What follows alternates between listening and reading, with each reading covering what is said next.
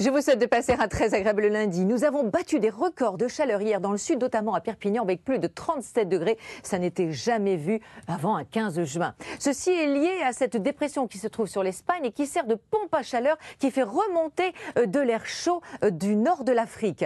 Alors aujourd'hui, nous aurons du soleil avec quelques bancs de brume. Regardez sur la pointe Finistère, quelques nuages un peu accrochés au relief des Pyrénées, quelques bancs de brume sur la côte basque ou bien encore sur le Roussillon, quelques nuages sur le relief des Alpes et de la Mais du soleil et de la chaleur. 22 à 36 degrés sont attendus encore aujourd'hui avec 31 dans la capitale et c'est dans le quart sud-ouest qu'il fait le plus chaud. On ira encore jusqu'à 36 degrés et plus à Perpignan cet après-midi.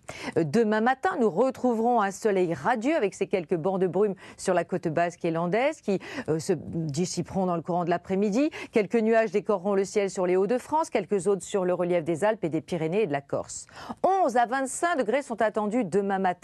Dès le lever du jour, nous aurons 18 dans la capitale, 20 à 25 autour du bassin méditerranéen. Et les températures vont encore progresser. Regardez, sur tout le sud du pays, nous aurons une moyenne de 29 à 34 degrés, 30 à 32 dans les autres régions, un petit peu plus supportable sur les côtes de la Manche. À partir de mercredi, une activité orageuse va se dessiner des Pyrénées au flanc est du pays. Euh, sur l'ouest, ce sera plutôt pas mal encore. Et les températures resteront très élevées, 32 à 33 degrés. On attend dans la nuit de mercredi à jeudi des orages violents. Nous surveillerons donc la situation.